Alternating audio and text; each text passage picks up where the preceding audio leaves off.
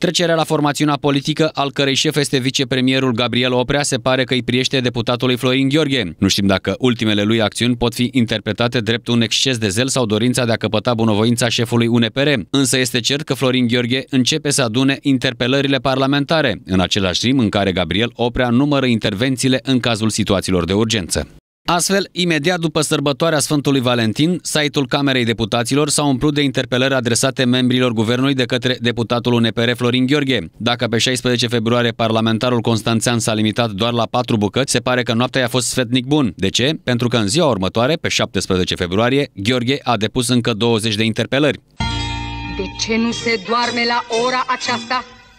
De ce, de ce, de ce? De ce nu închisă mai bine fereastra? De ce? De ce? De ce?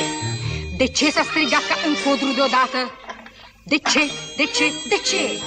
De ce stai fetiță cu gura căscată? De ce? De ce? De ce?